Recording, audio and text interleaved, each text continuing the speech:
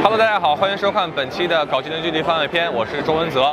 那我现在呢正在上海的 CES Asia 展会上。那今年呢，英特尔和浩翔推出了一个这样一个合作的无人机。那这款无人机呢，我们看到它采用了一个六桨的这么一个设计。这样的设计是为什么呢？平时我们可以六桨工作，一旦有一个这个螺旋桨损坏，那可以它立刻转化成一个四桨，从而继续保证一个飞行的平稳。同时呢，这两个这个支撑架呢也可以立起，以保证你在一个三百六十度的旋转。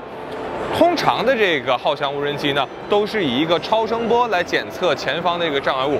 但是这款呢和英特尔合作之后，就有了一个新的功能，也就是我们看到的现在这个，也就是今年英特尔的一个多年来主打项目，叫 RealSense。这个 RealSense 的一个传感器是一个什么样的工作原理呢？就是它利用一个红外的发射器以及两个能检测红外射线的这个摄像头。来进行一个数据上的合成。我们今天在上之前的这个展会上也已经介绍了，它发射出这个红外射线之后呢，收取到的信号，从而通过这个红外线反射回来这个信息来判断前方的一个景深的状况。通过这样的一个状况，它能够更准确、更快速地判断前方是否有障碍物，从而进行一个躲避的这样一个操作。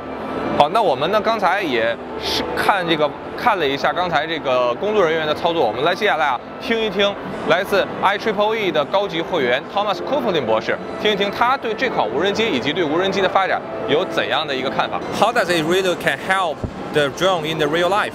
So the RealSense technology allows you to get uh, depth perception and to see what, what things are closer and what things are further away by use, by processing the stereoscopic images it captures.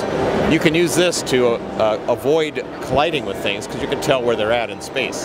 So and give you more uh, if you can run in a autonomous or semi-autonomous mode and have uh, better uh, control and um, uh, capability of having accidents, things that sort. So that's what I think it gives you. Also, if you had infrared capability, then it also can let you see is this a, a living thing or is it a rock? Eventually, if you can uh, combine that with machine intelligence that actually can do object recognition and that sort of processing, you can use that as additional information and make even more intelligent decisions on things that are interesting to look at, things that you want to avoid. Is, something moving? Is it not? Is it a living thing? Is it, is it not?